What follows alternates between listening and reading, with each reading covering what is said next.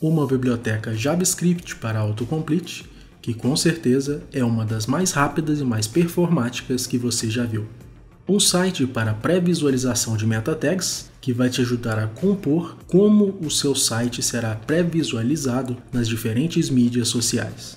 E uma biblioteca de drag and drop fácil, rápida e leve que vai te surpreender. Tudo isso agora no DPW Expo. O Autocomplete.js é uma biblioteca projetada para performance, para velocidade. Seu objetivo é ser altamente versátil para ser usado em uma grande variedade de projetos e sistemas. Já partindo para uma demonstração, aqui tem-se um autocomplete de comidas e drinks. Vamos tentar aqui um termo e realmente, muito rapidamente, ele encontrou os resultados. Aqui é possível alternar entre o modo estrito e o modo mais aberto, um modo mais variável, que procura correspondências no texto não de maneira tão exata, mas em qualquer parte do que se está buscando. Então, fazendo a mesma busca que fizemos agora há pouco, os resultados são totalmente diferentes, porque não necessariamente o termo em sua totalidade está sendo considerado mas sim cada uma das partes que pode ali estar contida. Ainda no mesmo site, é possível ver uma lista completa de features. Com certeza, as que mais agradam são ele ser em JavaScript puro, não ter dependências e ser extremamente rápido e leve.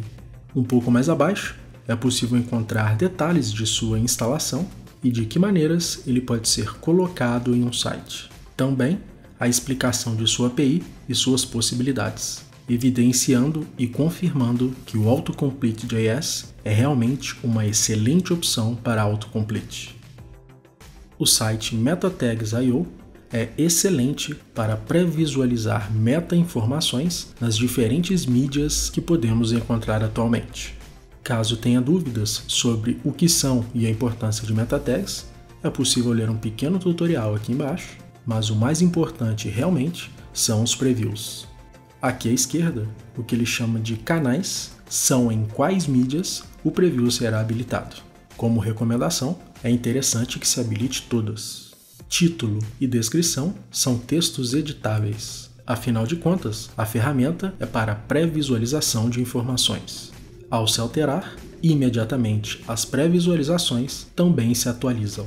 Alterando-se aqui a descrição, é interessante ver que, dependendo da mídia, dependendo do que ele chama de canal, esse texto será cortado.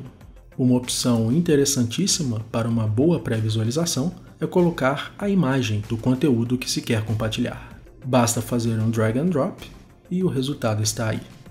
Aqui olhando as diferentes mídias e comprovando a eficácia da ferramenta. Um recurso interessante é que é possível colocar o endereço de um site e ele busca aquelas informações para serem pré-visualizadas, evidentemente permitindo ali a alteração para que uma eventual adaptação seja feita. Tudo estando no agrado, é só clicar no botão de gerar meta tags e o código será disponibilizado. Tá gostando do vídeo? Então clica no gostei para dar aquela força e também se inscreva e ative a sineta para saber quando saírem novos vídeos.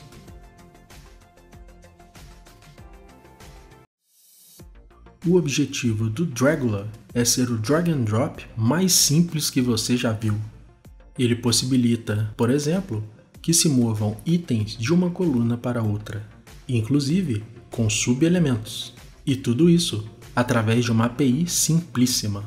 Como era de se esperar, há aqui a opção de se trabalhar com eventos, para, por exemplo, adicionar, remover ou alterar o nome de classes. Uma opção interessante é no próprio drag, já eliminar um item da área que se pode arrastar, perceba a diferença, e até quando não se arrasta para lugar nenhum. Novamente, apenas uma opção. A API é realmente muito simples. Existem diversas outras possibilidades que você vai poder conferir ao acessar o site do Dragula.